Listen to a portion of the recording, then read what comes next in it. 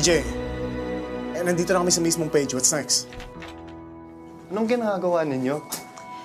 Ina-access namin yung SkyDrive ni Papa. Kausap ni David ngayon yung kaibigan niya sa Singapore, si TJ. Matinik yun si CJ. Okay yun. Alright, sige. TJ, I'll call you back. Eh, may konting loading pa eh.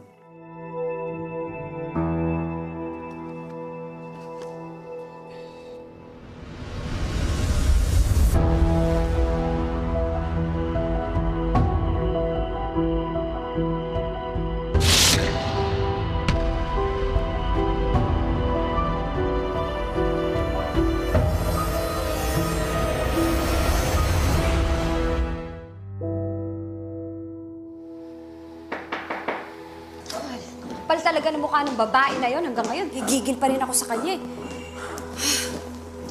Huwag mo na lang patulan. Ikaw na rin ang nagsabi na desperada na siya eh. Ay, hindi titigil yan. Malaking halaga yung nawala sa kanila. Eh, paano kung nagising si Atty. Marquez? Kahit magising si Attorney Marquez, wala pa rin silang hawak. Hmm, sayang. Sayang si Steven. Magaling yun eh. Ni-figure out ko na nga kung paano burahin yung pati yung online storage ni attorney.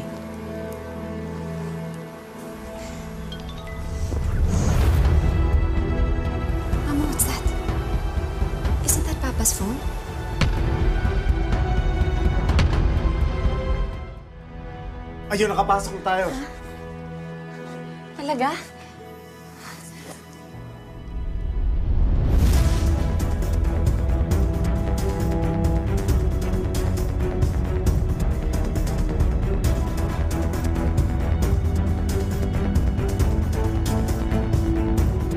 G, akala ko ba nawawala phone ng papa mo? Bakit may recent activity a few seconds ago? May binura. Paano nangyari yun eh? Wala nang nakuhang cellphone yung mga pulis eh. Tingin.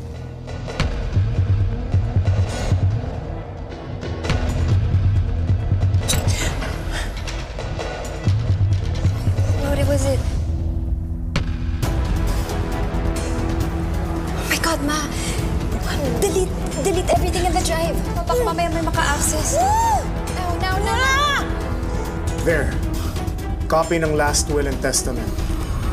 Sige, um, pakisave, pakisave na lang. Ilagay mo sa isang file para ma-print natin mamaya. Sige, sige.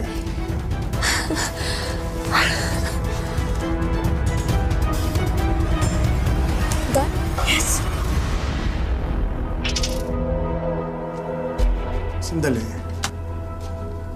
Bakit?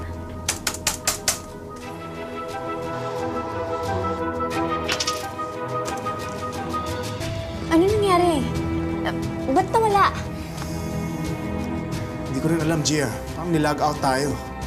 Subukan ko ulit. Wait.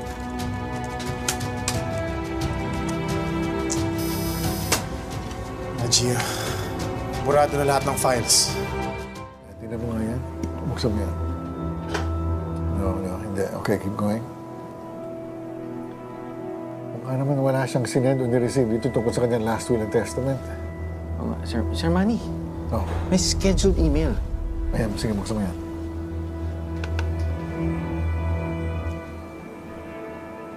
Sir Manny, it's addressed to all of the board of directors and all employees.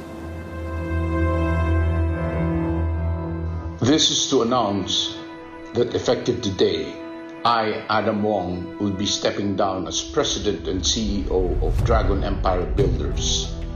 As such, all functions and responsibilities shall be assumed by a person we all know and respect.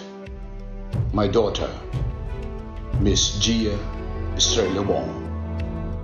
Ma'am Gia, kabilin-bilinan po ni Madam Lucy tsaka si Ma'am Dena na bawal po kayo pumasok dito. Kuya, hustisya para kay Papa ang hinahanap ko. Maawa naman kayo sa mama ko, nakulong siya na kahit wala siyang kasalanan. Sige, Ma'am Gia, pero mabilis lang ha. Alam niyo naman na nandito si Ma'am Dana eh. Baka mapagalitan ako. Sige, pasok po kayo. Sige, mabilis Salamat lang, ho, ma'am. ah. Sige po.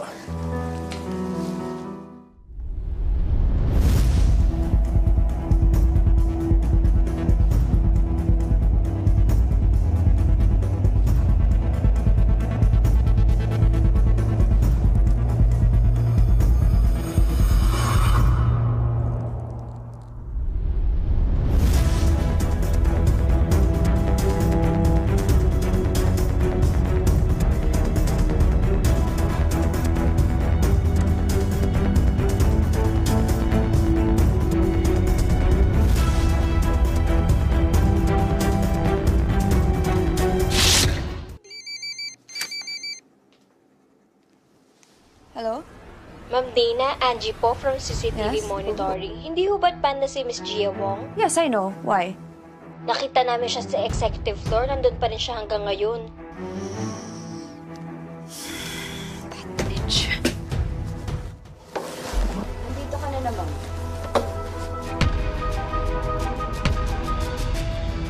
Wala ka ng kadala-dala. Hmm? Are you testing me, Gia? Umalis ka dito. Ano ba? Ano ba? Don't touch me! Do you wanna get fired, ha? Then get out! Umalis ka dito. Alis! Alis!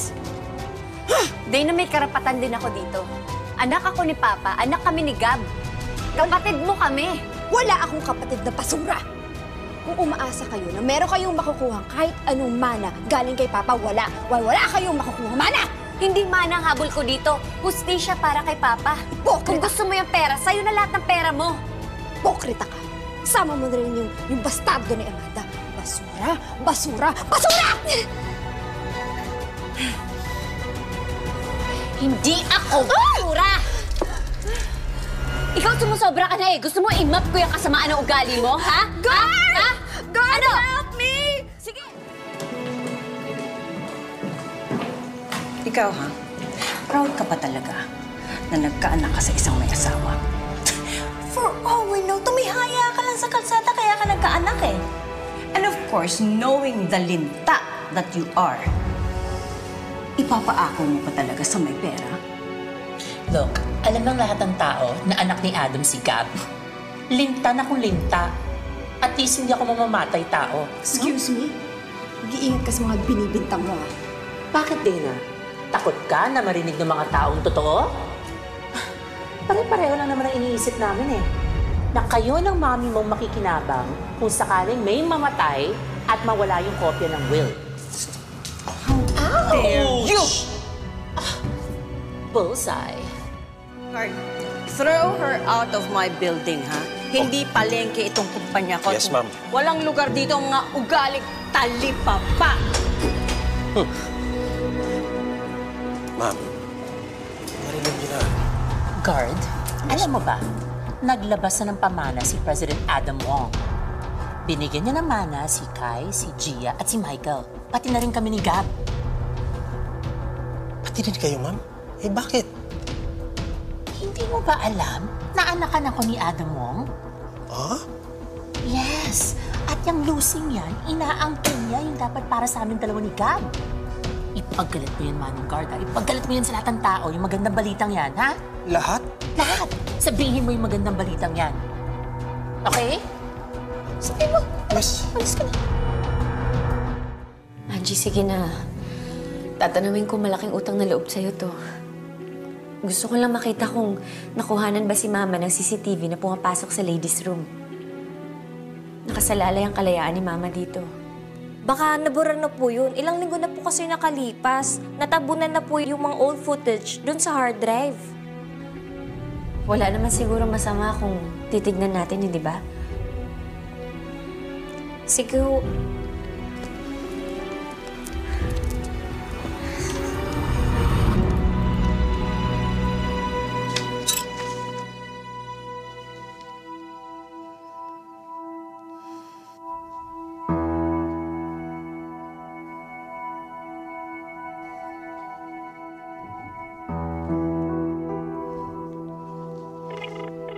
Dena.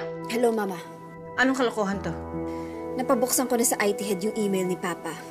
Scheduled lahat ng emails ni Papa. At alam na ni Ninong Manny, ipinaharang niya dun sa IT head. Traitor. You know what, man? We're really gonna confront him. He can't do this to us. Ah, sige, ah, pakitignan nga sa bandang 6.25.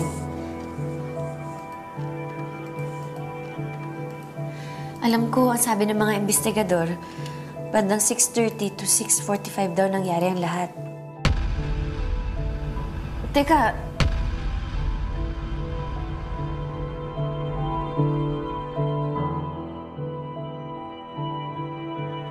nasa kabilang banda yung opisina ni Papa, hindi ba? Opo, ma'am. Hindi si Mama pumatay kay Papa. Mapapatunayan ko na rin to sa wakas. Makakalaya na ang Mama ko. Hindi mo talaga hinintay na papasukin kita, no? Emergency po, Ma'am Lucy. Si Ma'am Gia po nakakuha ng CCTV footage. Nakita po doon na lumalabas si Ma'am Kay sa ladies' room. Ano? Bakit ngayon mo lang sinabi? Anong oras nangyari to? Andito pa pala sila sa building?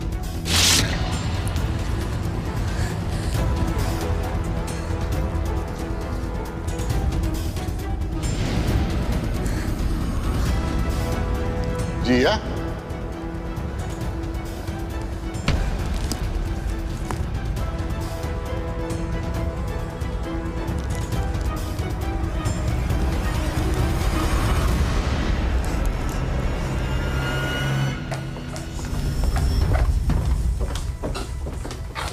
Hindi kita binabayaran para matulog. Nakalabas na ba si Gia Wong? Oh my God, Mama. It's Gia. Kasama si Ninong Manny. Bakit sila magkasama? The basement parking. Yes, boss. Hindi dapat makalabas si Manny. Ano? Kung wala pa sumasagot. Tatakbuhin mo! Hindi sila dapat makalabas!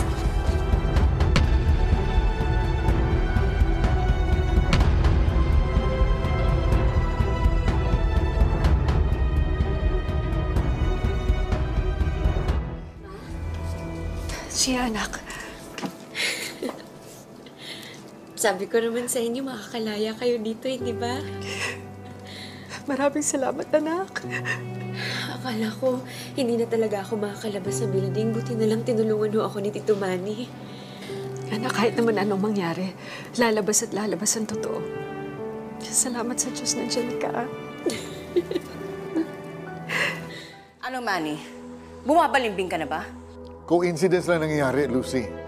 Paalis na ako, nakita ko si Gia, kaya sinabay ko na. Eh, nasa labas na kami nung malaman ko na may nahanap pala siyang ebidensya. Na hindi niya dapat nakuha! Dapat kinuha mo sa kanya! Hindi ko man pwedeng gawin yan, Lucy. May ina siyang nakakulong na gusto yung palayain. Kai should rot in hell dahil sa mga ginawa niya sa amin! Lucy, ano ba pag gusto mong mangyari? Dadalawa na lang sila magkasama sa buhay. Why can't you live and let live? Ang gusto ko, ang gusto ko mamatay na sila dahil mga salot sila. At Manny, huwag mong gawing excuse yan, ha? Pinrove mo lang sa amin ni Dana na ang loyalty mo, bumaliktad na. Lucy, my loyalty has always been for the good of Adam's family.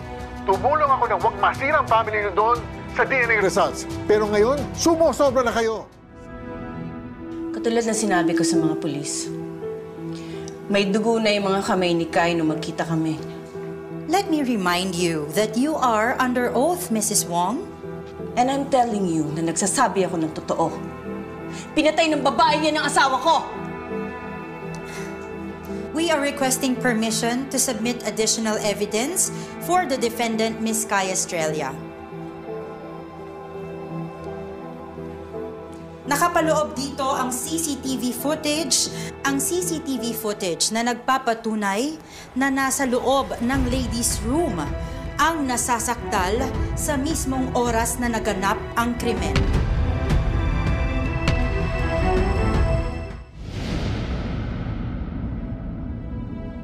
This court finds the accused, Kai Estrella, not guilty for the crime of murder for failure of the prosecution to present proof which shall prove the guilt of the accused beyond reasonable doubt. So ordered. Hindi ako papayag! Kailangan mo pagbayaran lahat! Tapos na ang palabas mo, Auntie Lucy.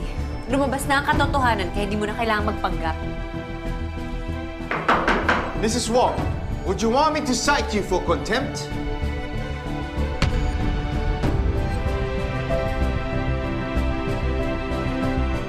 Saka itutuloy pa rin namin yung paghanap kay Harry ha. Um, pati dun sa salarin, dun sa kaso ni Mr. Wong.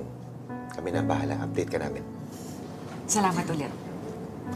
Ay, hatid ko na kayo. Bilin ni ma'am, dapat parati kayo safe. Si Helen talaga? Very active participant kahit long distance. Pakisabi sa kanya salamat. David, baka kasi nakakaabala kami sa inyo eh. Okay lang ako, baka may trabaho ka pa. Hindi ka nakakabala. Tapos na kayong trabaho sa galing ng ginawa mo eh. Sige, ingat kayo ha. Salamat ho. Sige ho. Hey! Dana, what the hell? What, what are you doing? What the hell, Dana? Ano kong sasabihan?